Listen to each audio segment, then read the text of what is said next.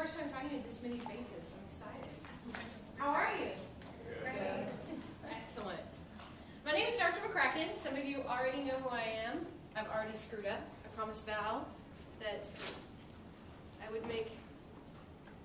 We don't have a microphone, so we're going to piece this together. So I promised her that I would do this, so bear with me. I think it's in settings, right? Yeah, voice memo. Can I do a voice memo? Will it be too loud? Okay, go. There's our video cue, so that we can sync our audio in our video. Okay, my name is Dr. McCracken. I teach the 19 section of this 1302 experiment. How many of you already know why you're here? How many of you think you're supposed to know why you're here, but have no clue why you're here? I don't know why we're here yet either. On Mondays, we're going to try to come together to talk about a concept, to share some ideas. Um, some days it'll be really interactive, some days it'll be kind of you talking and listening to a lecture. We don't know what it's going to do every day. But what we do know is that you being here is going to be essential to your success in the class. And today, we're doing like a big picture conversation. So we're going to let, come on in, find some seats, there's plenty. You'll have to sit in the middle though. We're going to let them sit down. While they're finding their seats, we try and figure out where the light switches are. I want you to do a little bit of writing for me. Um, and keep it on the front because I'm going to have you do some drawing on the back of your paper. So there are two things that I want you to write about for a minute. If you've got a neighbor next to you, you can ask for help. That's cool. I don't care. But I want to know what do you think makes somebody an expert? So in addition to trying to say, like, this is an expert, you can give us a really specific example. Make sure that you talk about behaviors and practices. That's what I'm really interested in. What does an expert do? How do they behave? And then the same for the word novice. What do you think makes somebody a novice? Again, what are the behaviors or practices? And I will go ahead and tell you one thing. My students who have already had me know this. The only thing that makes my head literally explode, literally, if you watch Parks and Rec, is texting in my class. So if you want me to shame you in front of all of these students, try it. It will make me explode. So there you go. That's the only thing I have to say. So take a few minutes. What makes somebody an expert? What makes somebody a novice? If you don't know what those words are, you can also just write about how you don't know what those words are. Have to be lights in here, right? Oh, the lights, I believe are in the back. I don't know why they're set up that way, yeah. Thank you. You can phone a friend, turn around and ask somebody in the room around you. Yeah. So you're gonna give these back to me, so make sure you're using the yellow and pink and white paper that should be circulating. Or you can tear out what you have.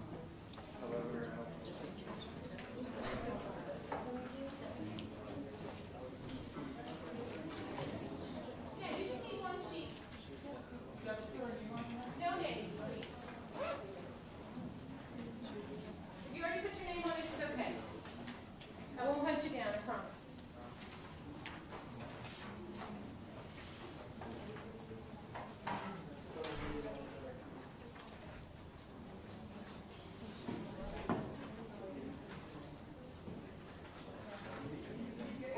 What makes somebody an expert? What makes somebody a novice?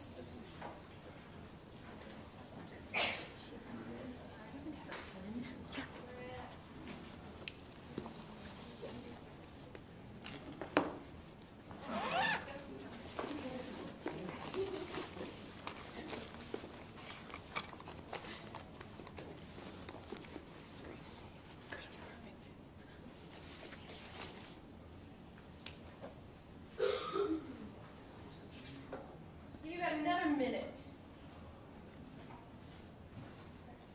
Don't be afraid to put a name. If you, if you, when you think expert, if you think LeBron James, you can write LeBron James down. Be sure you can tell me why he's an expert.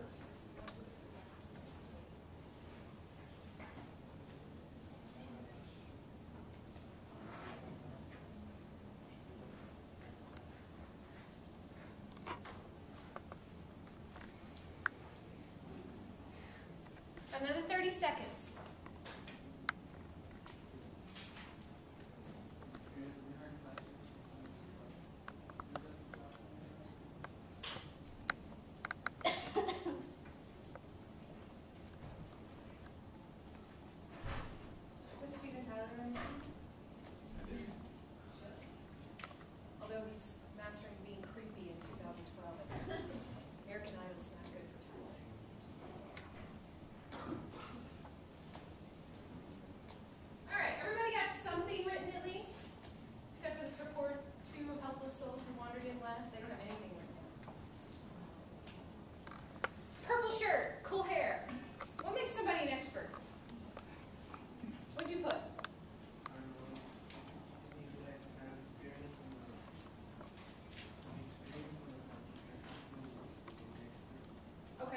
experience.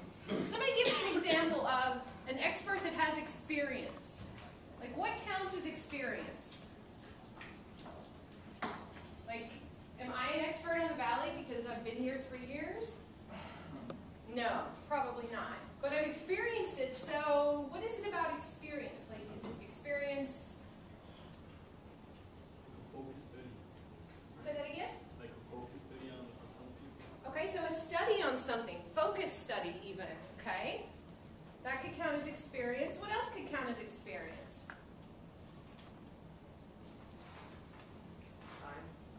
Time. How much time? Years. A lot of it, okay. So maybe it is based in years, right? Three years probably not enough. How many of you have been here more than three years? Lived in the valley more than three years? Okay, you probably are more experts in the valley than I am. What else makes somebody an expert? What other behaviors do they have? We Confidence? confidence, okay. Why do you think that's important for an expert? Their credibility? Credibility, and there was somebody over here. Knowing they're right. Oh, confidence, knowing they're right. Do you think experts only know when they're right? No, there's dissent. How many of you think that's a requirement for expertise? Being able to say, I'm right. I know it. About being able to say you're wrong. Oh, why do you think being able to say you're wrong could be important? You're honest. You're honest? Okay. Alan, right? What else about being being able to say you're wrong? Why else do you think that might be important for an expert? Well, because when he does something wrong, he can fix a mistake. Fix a mistake. I like that. What about novices? What's a novice? What makes somebody a novice?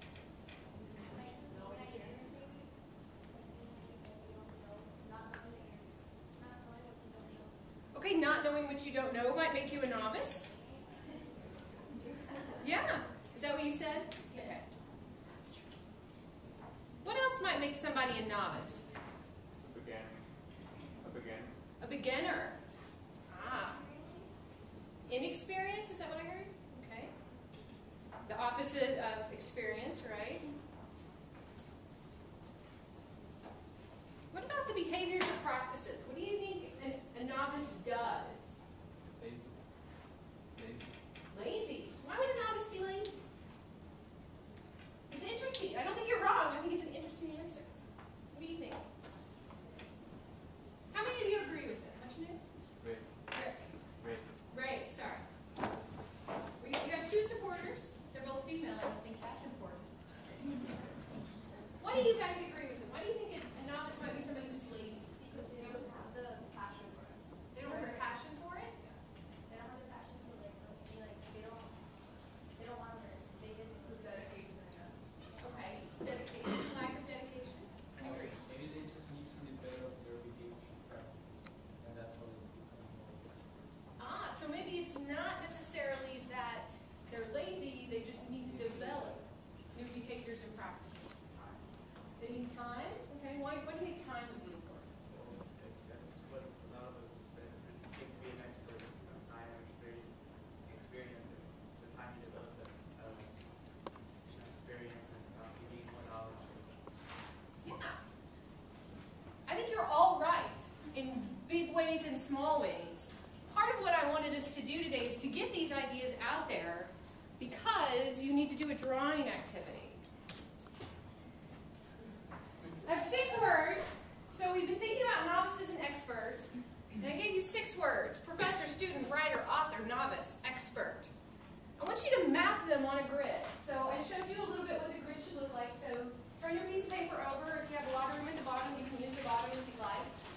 I want you to take 45 seconds and gr- map these six words onto this grid.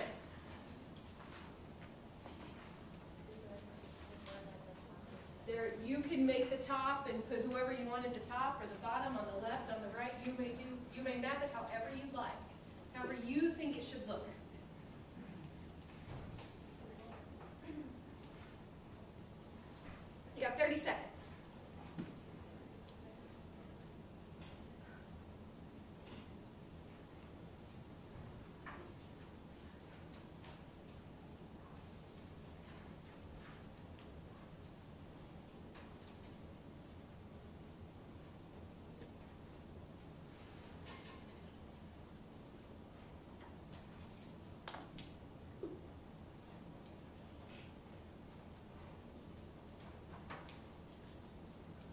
10 more seconds.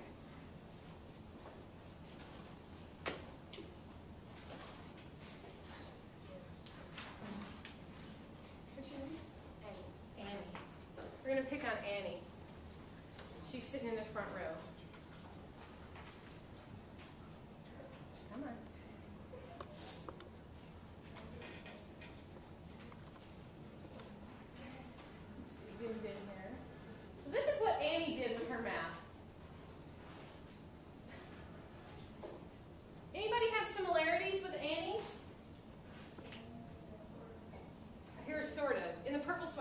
Sort of?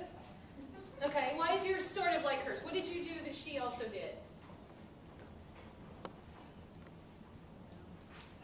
I can't see, I'm blind, I'm really, I'm very nearsighted, like a bat. Just describe it for us. Why did put expert, why put expert in between lines, so I could be with the professor and author as experts and writer and student. Ah, so you, you had expert and professor and author kind of above the line and novice students and writers below the line also? How many of you did that? How many of you, whether you put it at the top of the arrow or on, in grid format, had experts, professors, and authors in the top half? You gotta raise your hand really high.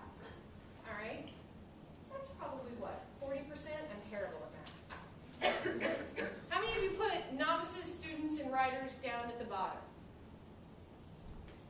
Same forty percent? You didn't do either, why not? Online? Um, You already talked once, Ray. It's guaranteed you're gonna call on again. I, I don't know, I was, I was a bit, uh, I guess confused on that. I just, I didn't know what, what I should have put first. I put author and writer together. Okay, you put author and writer together, good, okay. What about expert and professor and student? Where did, where did they go in relation to each other? A professor of, of conflict theory. Okay, because they work together? That makes sense. In a way, it's kind of a trick assignment. But the reason I liked Annie's is this is typically how you think of it, right? For most of your academic career, it's been teachers doing what to students? Are you going to learn this? Are you going to do your homework? Are you going to do it exactly like I told you, in the exact way I told you to do it? Yes. yes is always the answer. Yes, ma'am. Right? Do it as you've been told. It's teachers over students. It's a hierarchy? Your job is to look up to them and ask, what do I do next? Right? I want you to change that thinking. Not just because I think it's a, a bad idea, but because we have some research that says it's not really going to serve you well.